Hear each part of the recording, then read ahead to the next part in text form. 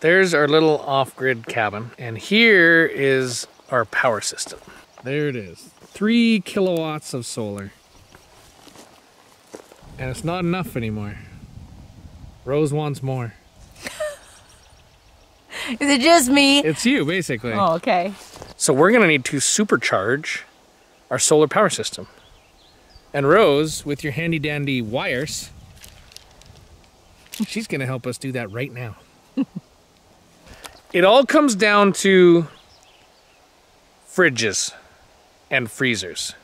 Rose just plugged in a cheese cooler. And it basically it basically broke the bank.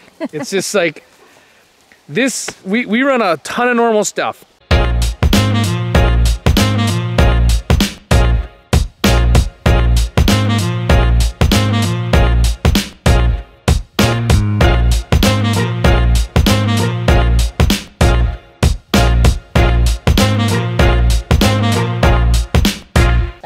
That matters. It's all about the fridges and freezers. Because the fridges and freezers run all day long.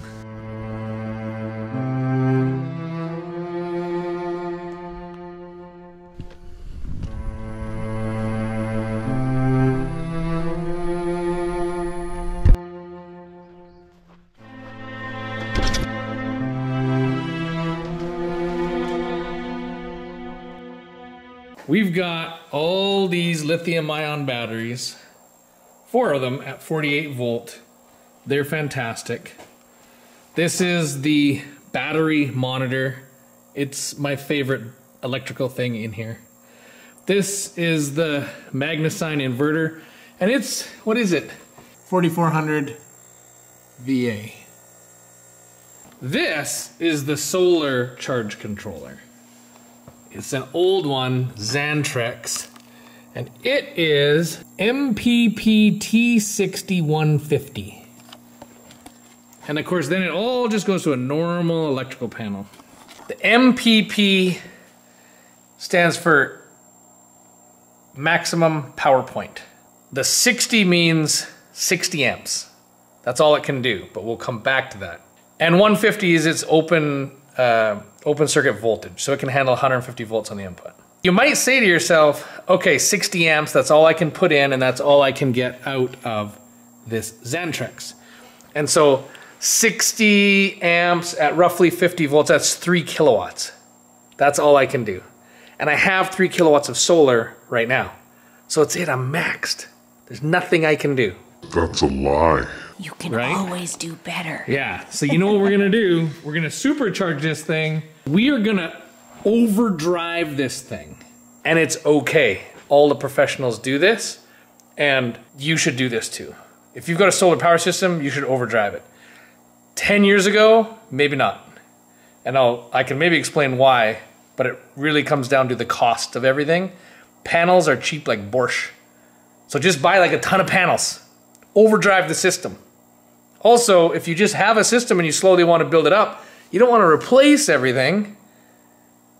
So we'll get to that, and, and I'm going to show you once we add a few more panels, we're going to increase the size of this thing by 20%, the solar array. How much extra power does that add? Because will I get the full 20?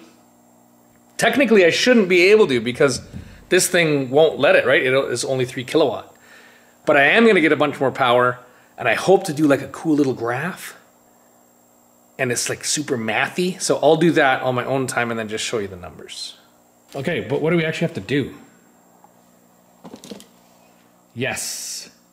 We gotta run some wires. We gotta add a new breaker into here and look. It's almost like I thought of this 10 years ago. Because we got one empty spot there. And we got a couple more panels and we gotta put them on the roof. And since I'm filming, Rose is gonna do it. Just like Kezia said, filming while you do all the work is way better. Yeah. Huh. Um. Okay, let me grab the other panel. Okay, Okay. How are we gonna do this? and film. Huh. Where are all the helpers Where are all the girls? we need them? the girls are getting big. Like, they go places on their own now. Gang! Go, Clyde!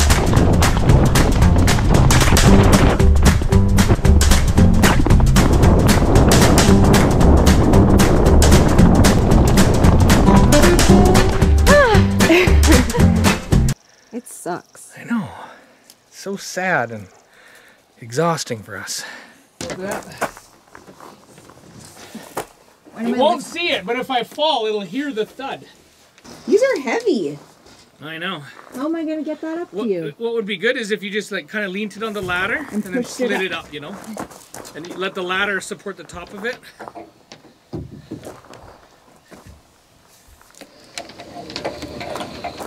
Yeah, you're good.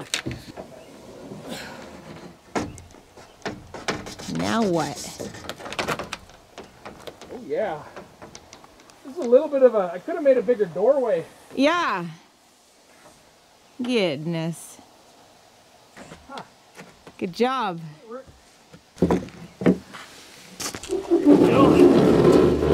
Oh yeah, that's easier. You made it. I made it. You gonna help me up? Huh. Oh yeah. Oh, look at all the moss in there. Yeah, this is the north-facing side. It's all just wet and mossy. Oh look, we're gonna have blueberries or are those huckleberries. No way. Huckleberries on the roof? That is awesome. We're brilliant. People don't even know how to like rate Propagate like how to yeah, domesticate huckleberries. Are you ready for some photovoltaic facts? I'll put it this way. Photovoltaics are kind of polite. If you want to receive power from them, they will give it to you. But if you're like, ah, no thanks, then they're like, okay, I'll just wait here. No problem. They do kind of get their voltage up a little bit, but but other than that, they're just cool to not send the power. So I'll show you. It is not particularly sunny right now, No. but solar panels will still put out power in this type of stuff. Basically, there should be an amp or more, right? You'd but think. clearly, like there's no amps. There's no current coming out of here. Right? See that? They can produce the power, but they don't need to. This isn't a dangerous situation. Although don't take any of this as advice for safety because that's not what we're we're not here for safety. so, look, I'm going to put this on DC. I'll show you something. 41.6 volts. So this is the open circuit voltage because it's open circuit. But this is where it gets cool. Put it on amps. All right. Now, there's no amps, right? Right? You can't have amps with an open circuit. Right. But what if I close the circuit with the ammeter like a short circuit? This is crazy. Oh, 2.8 amps. I should get out the So- toaster or something. I know, we could, that would take a long time. This is the key to supercharging your solar power system is you can provide excess solar panels to your system. And as long as you don't over voltage your charge controller, okay, just a second. It almost sounds like I'm giving you advice. I'm definitely not giving you advice. I am going to supercharge my solar charge controller by giving it 20% extra solar. So at the very peak of every day when the sun's perfect, it'll basically limit the power. And just like you saw, the, the panel's okay not pushing power.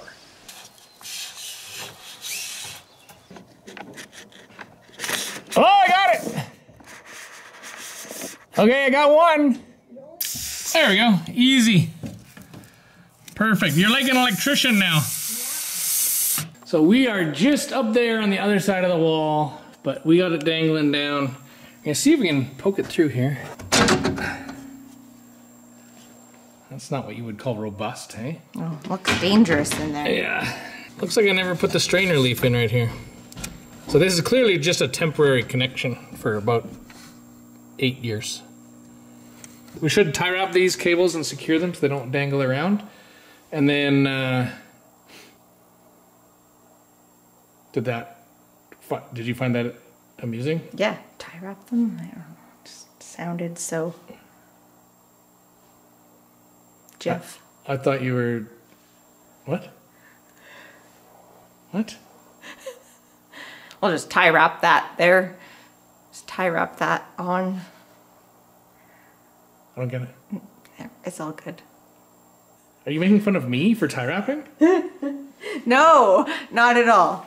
No, You are. a little bit. Why? I don't know. You love tie wraps. That's great. I know. Look, you got to tie wrap everything. I, look. I wasn't really making fun. tie wrap. I was tie just wrap. That's what we do. I was We just- bundle things together. snickering to myself because you love tie wraps, and oh, that's okay. Oh, Okay. Well, get me some tie wraps. Alrighty then, let's do this. Okay. Okay. That is neatly tie wrapped. Not like Rose cares or anything. I love tie wraps. Me too. I know. Good grief. I guess I can land this guy. And that should just. Should just. Clip on that DIN rail. That'll come off. There we go. See? It was that easy. Just needed. Just needed to do that. Now you just have to tighten them all up. Yeah. This is not. This is not. This is not a safety video. Or a how-to. No. This is just what I'm doing. This could be the last video I ever make. I could die right now. Oh, okay. Everyone's got to go at some point. And if I'm going to go, I'm going to go making sure that my wife has a cheese fridge. Good news. What's that? We get to put on more tie wraps. Ooh. If I had a helper, I'd probably get her to. Uh, never mind. I'll just. Okay. So I'm gonna connect this one to the positive from this panel. So that's putting them. That's putting them in series. So I can't remember. Did we leave those wires like? Disconnected. Are they just like hanging in there in the air? Yeah. I think so. Yeah, so normally this would be a bad idea. so one of these is positive with respect to the other. So this guy got a 50-50 chance. There we go, negative 80 volts. This is my positive. Got the fancy strippers today.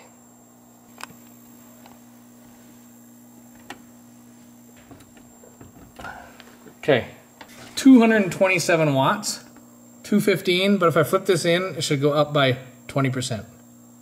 You ready? Yeah. Oh, it went up way more than 20%. Wow. It went up like 50%. And that's because those panels are flat and the other ones are standing up. Let's lay the other ones down. We should.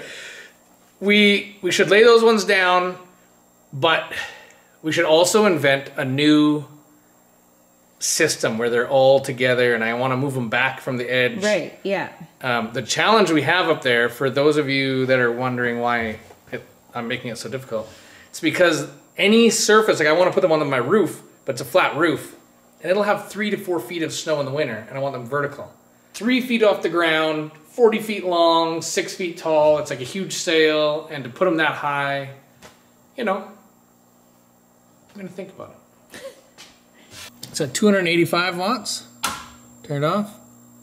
214 watts. Turn it on. We overbuilt the solar panel, the solar array. And on paper, you'd be like, it's too much for the inverter. But the reality is, it's only too much for the inverter on like magical moments on magical days in the year. And the whole rest of the time, I'm still, I'm gonna get the increase in power. Right. You saw that this added power. But what I want to do is take a few points through the day and build the graph. Because then we can use graph paper. And we can graph the power through the day. And each time we measure it, we'll measure it with and then without the new panels. So we can see exactly how much power we're adding on an average day. And you're want to see that because that's like that's like the cold hard facts. So that's what we're gonna do next.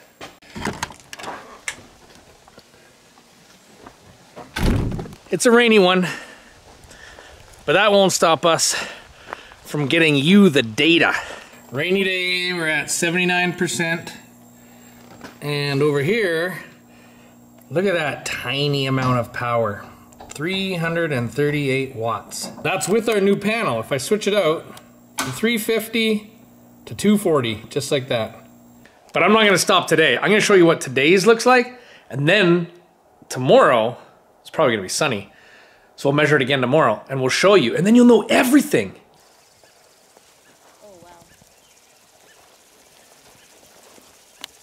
Okay, this is what I started doing. See all that power? No. It's way down here. that was a very dark day It was a non-sunny day. in our history.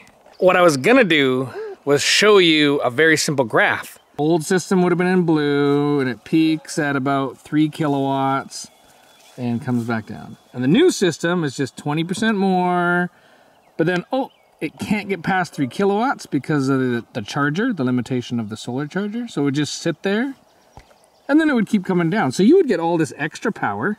That's the gap between the lines most of the day and just not here. What ensued was totally different. And so now it's been a marathon of math, which is perfect when your kids are homeschooled. Let's look at this. So you saw my first day, and then this is the next day. Got off to a good start, and then what happened here? This is what happens when the when the batteries fully charge and then you can't charge anymore. And it just is powering the load. Whatever loads we plug in, that's what it's powering. The next day was cloudy all morning, and then oh, the sun came out in the afternoon. And then the next day, oh, it happened again. Charging great guns, got up to around 2,000 watts, and then boom, batteries charged. So we did one more test, mm-hmm. and we got smart. We we kept the batteries from charging. so we turned off the panels in the meantime, and this is what I got. Another imperfect day. So this starts off great, and then it gets cloudy, and then it gets uncloudy, and then it gets cloudy all afternoon, and then it gets sunny again right at about four o'clock. So you can imagine though, on a perfectly sunny day, this would go way up and down right here. In hindsight, this is actually a great lesson. Solar is not the way you think it is. And the total increase from the old system to the new system, 16%. percent mm-hmm. That seems reasonable. We added 20% more panels. Mm-hmm. We didn't quite get the whole 20%. So this was more of an average summer day. And here it is. The total energy we gained in the day, 17.7 kilowatt hours. And on this day, I calculated a 13% increase. So we supercharged the solar system, and it worked fabulous. And the girls got to do some super awesome math homeschool. Yeah. And Rose gets to plug in her cheese fridge, and basically, I make out like a hero. We also laid the panels down into their summer setting. It is maybe nine o'clock in the evening. I think there's technically some sun on those panels. Technically. Probably getting a hundred watts out of all that. You know when you hug your textbook like that? Reminds me of high school. I knew you were gonna say that. that was a long time Uh-huh. ago. But I knew even back then that you were the one. And you're still the one.